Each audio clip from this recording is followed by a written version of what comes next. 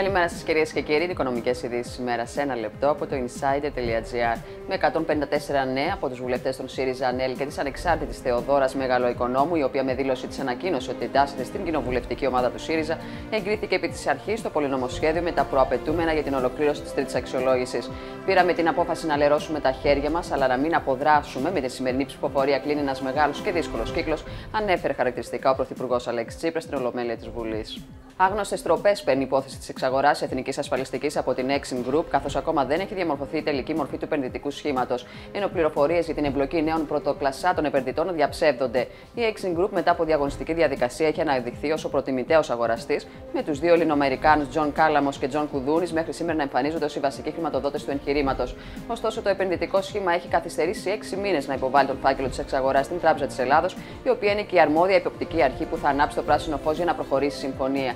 Η εκτίμηση έμπειρων παραγόντων της αγοράς είναι ότι ακόμα το σήμα που θα χρηματοδοτήσει την εξαγορά του 75% της εθνικής ασφαλιστικής δεν έχει καθοριστεί, ενώ δεν διστάζουν να μιλήσουν και για παιχνίδια που παίζονται με τη μεγαλύτερη ασφαλιστική εταιρεία της χώρας, τα οποία και θα πρέπει να σταματήσουν όπως υποστηρίζουν άμεσα.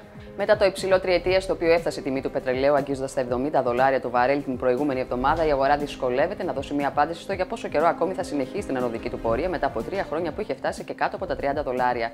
Σύμφωνα με τελευταία στοιχεία, τα αμερικανικά αποθέματα αργού πετρελαίου εξακολουθούν να μειώνονται, φτάνοντας στα χαμηλότερα επίπεδα από τις αρχές του 2015. Ο Διεθνής Οργανισμός Ενέργειας προβλέπει ότι τα αποθέματα θα ξαναρχίσουν να αυξάνουν το πρώτο εξάμεινο του 2018, αλλά για την ώρα η μείωση που παρατηρείται εξακολουθεί να στριμώχνει την αγορά. Κάποιοι αναλυτές θεωρούν ότι συγκεκριμένα γεωπολιτικά ζητήματα προκαλούν ευρικότητα, που σημαίνει υψηλότερες τιμές, αλλά υποστηρίζουν ότι το ράλι της τιμής του πετρελαίου έχει φτάσει στα όρια του και κάποιοι άλλοι διακρίνουν μια μέση οδό, προβλέποντας πως η αγορά θα φτάσει σε εξισορρόπηση κάποια στιγμή μέσα στο 2018. Για να δούμε. Ανωδικά κινείται η χρηματιστηριακή αγορά στο σημερινό άνοιγμα της συνεδρίας με τον γενικό δείκτη μόνο και σε 849,36 μονάδες, καταγράφοντας κέρδη 0,19% σε άνοδο και τα ευρωπαϊκά χρηματιστήρια. Για περισσότερες ειδήσεις στο insider.gr.